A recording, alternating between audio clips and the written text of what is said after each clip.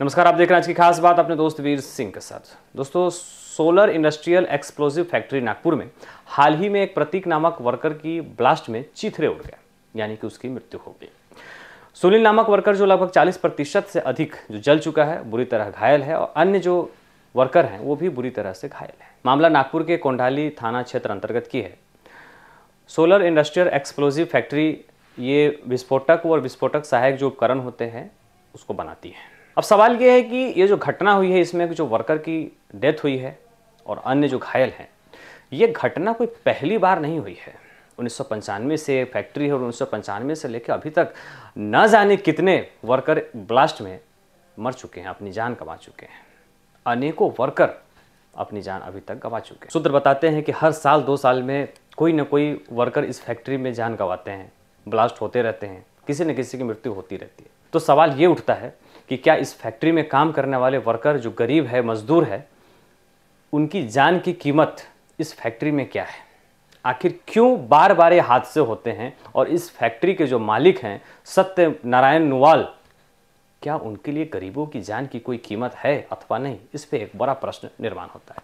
अब बार बार जब यही काम करना है बार बार विस्फोटक उपकरण बनाना है तो उस पर सेफ्टी किस प्रकार से होनी चाहिए और उन्नीस से अगर कोई कंपनी कार्यरत है, काम कर रही है इस पर तो मुझे लगता है कि अभी तक कंपनी को सेफ्टी की क्या क्या चीज़ें आवश्यकता है और किस वजह से गरीबों को चिथड़े ना उड़े, इस पर क्या ध्यान देना चाहिए? इस पर मुझे लगता है कि सत्यनारायण नोवाल और जितने भी संबंधित लोग हैं, उसको ये जानकारी हो जानी चाहिए। तो क्या ऐसा समझें कि इस फैक्ट्री में जो इसके जो सेफ्टी ऑफिसर्स हैं, जो सेफ्टी अथॉरिटीज़ हैं उनका कितना ध्यान है? एक बड़ा प्रश्न निर्माण होता है। अगर इस प्रकार से अभी तक उन्नीस सौ पंचानवे से लेकर 2023 तक अनेकों मजदूर गरीब अपनी जान गंवा चुके हैं तो सिर्फ़ सेफ्टी अथॉरिटी के ऊपर एक बड़ा प्रश्न निर्माण होता है कि क्या सेफ्टी अथॉरिटी भी इस कंपनी के साथ में मिली भगत कर रहे हैं? क्या गरीबों के जान ऐसे ही जाते रहेंगे?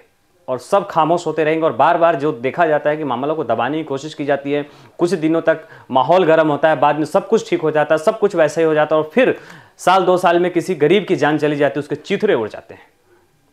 आखिर ये सिलसिला कब तक चलता रहेगा, अपने आप में एक बड़ा प्रश्न निर्माण होता है। तो फिर गरीब की जानें कब तक जाती रहेंगी और मामला कब तक दबता रहेगा। सूत्र बताते हैं कि सत्यनारायण नोवाल की इस फैक्ट्री में देश के डिफेंस मिनिस्टर राजनाथ सिंह जैसे लोग यहाँ आए। और सूत्र ये भी बताते हैं कि आने वाले जो गवर्नमेंट के नए प्रोजेक्ट है, वो इस सोलर इंडस्ट्रियल एक्सप्लोसिव जो कंपनी है नागपुर की, उन्हें मिलने वाला है। तो सरकार या सरकार के कोई प्रतिनिधि या सरकार के कोई मंत्री यहाँ पे आते हैं, इसका ये मतलब है कि क्या कि सेफ्टी अथॉरिटी या फिर जो मालक है, वो गरीबों की जान हर साल, दो साल में लेते रहेंगे।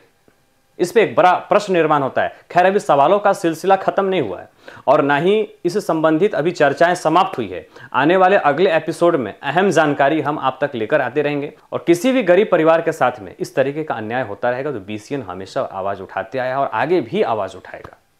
आप हमारे साथ बने रहें। अधिक जानकारी हम अगले एपिसोड में इस संबंधित लेकर ज़रूर आप तक आएँगे। हमारे साथ आप बने रहें, देखते रहें आज की खास बात। अपने दोस्त वीर सिंह के साथ सिर्फ़ इन बीसीएन न्यूज़ पे सच दिखाए। बिना छुपाए जय हिंद।